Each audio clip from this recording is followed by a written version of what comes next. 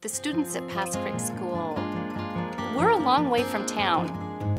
A lot of their time is spent at home, on the farm, or the ranch. They just weren't getting to the library as often as I would hope that they would. When I learned that the bookmobile was going to be operating, I just knew this was going to be perfect for them. And when Carmen gave them their first library card.